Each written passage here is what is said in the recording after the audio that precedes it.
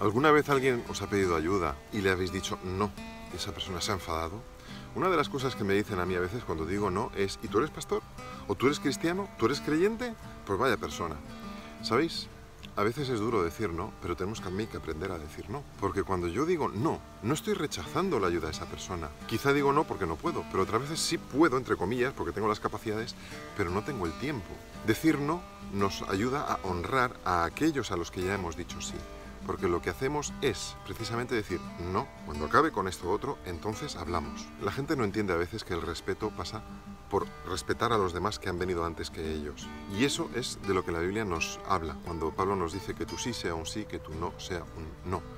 Porque si yo digo que sí a todo el mundo y al final ayudo a la mitad, ¿de qué vale mi sí?